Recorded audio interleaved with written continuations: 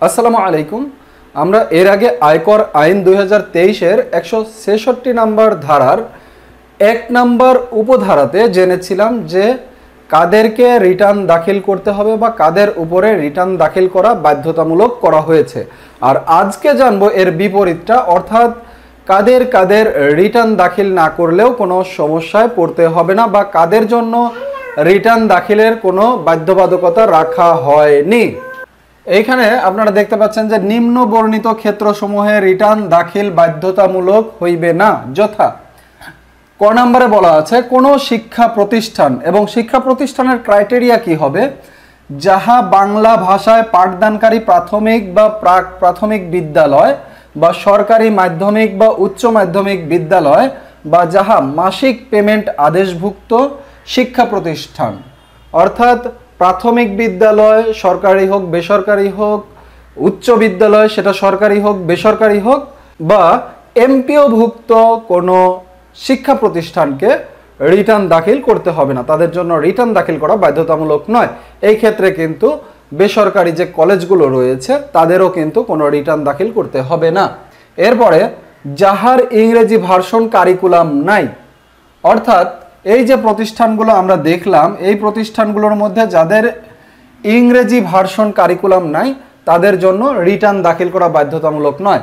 এখানে এই কথাটা লাগানোর অর্থ কি আপনারা অবশ্যই বুঝতে পেরেছেন হয়তো, যে যাহার ইংরেজি ভার্সন কারিকুলাম নাই, যেই স্কুল এবং কলেজগুলোতে ইংরেজি ভার্সনের কারিকুলাম রয়েছে, সেখানে কিন্তু আলাদা করে বেতন নেওয়া হয়। অর্থাৎ সেই শিক্ষা প্রতিষ্ঠানের ইনকামের কিন্তু একটা সোর্স আছে, যেটার উপরে কর আরোপ করা যেতে পারে। অর্থাৎ যাদের ইংরেজি ভার্সনের কারিকুলাম রয়েছে, তাদেরকে রিটার্ন দাখিলের ব্যাপারে বাধ্যবাধকতা থেকে মুক্তি দেওয়া হয়নি।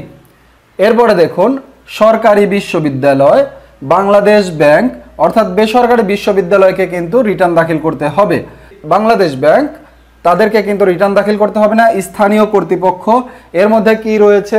ইউনিয়ন পরিষদ উপজেলা পরিষদ, জেলা পরিষদ, তাদেরকে কিন্তু রিটার্ন দাখিল করতে হবে না। এরপরে রয়েছে সংবিধিবদ্ধ সরকারি কর্তৃপক্ষ বা স্বায়ত্তশাসিত সংস্থা, যাহার সরকারের নিকট হইতে প্রাপ্ত তহবিল ও সুদ আয় ব্যতীত অন্য কোনো আয় নাই। অর্থাৎ সরকারি সংবিধিবদ্ধ যে প্রতিষ্ঠানগুলো রয়েছে, যাদের সরকারি আয় ব্যতীত বা সরকারের থেকে প্রাপ্তি ব্যতীত অন্য কোনো আয় নাই, তাদেরকে রিটার্ন দাখিল করতে হবে না।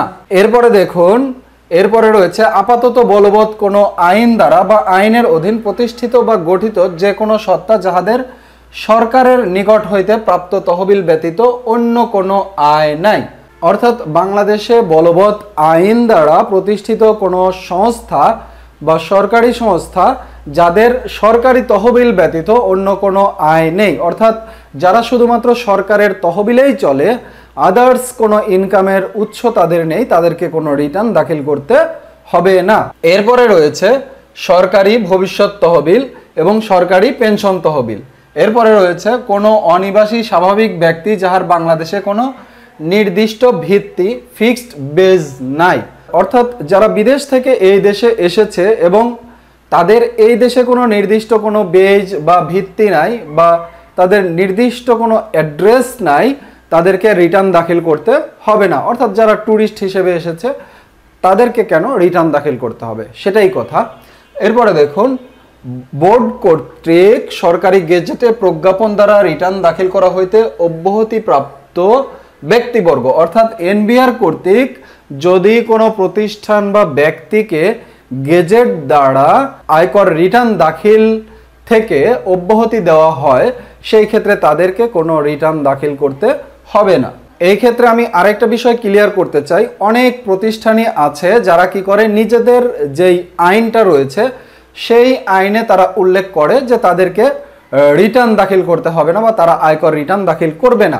এই ক্ষেত্রে এই নতুন আইন, অর্থাৎ আয়কর আইন দুই হাজার তেইশে বলা হয়েছে, শুধুমাত্র তাদের আইনে বিষয়টা উল্লেখ থাকলেই হবে না সেই ক্ষেত্রে অবশ্যই বোর্ড কর্তৃক গেজেট আকারে তাদেরকে অব্যাহতি দিতে হবে। অর্থাৎ বোর্ড যদি তাদের আয়কর রিটার্ন দাখিল থেকে অব্যাহতি না প্রদান করে গেজেটের মাধ্যমে, তাহলে তাদের আইনে যতই লেখা থাকুক না কেন তাদেরকে রিটার্ন দাখিল করতে হবে না, তাদেরকে অবশ্যই আয়কর রিটার্ন দাখিল করতে হবে। যতক্ষণ না বোর্ড তাদেরকে অব্যাহতি দিবে গেজেট আকারে। আশা করছি বিষয়গুলো আপনারা বুঝতে পেরেছেন। ভালো থাকবেন, সুস্থ থাকবেন। দেখা হবে পরবর্তী ভিডিওতে ইনশা আল্লাহ আল্লাহ হাফেজ।